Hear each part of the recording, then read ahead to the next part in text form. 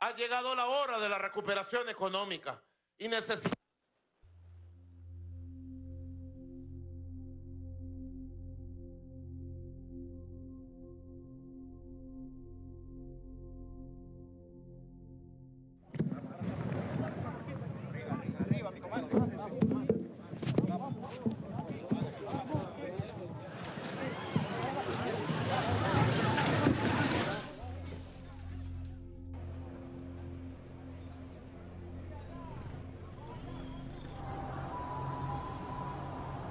Se vieron corriendo todito, no quedó uno.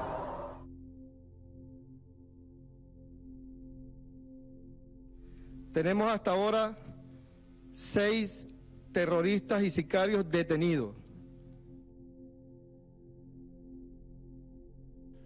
Y se trata de un atentado para matarme.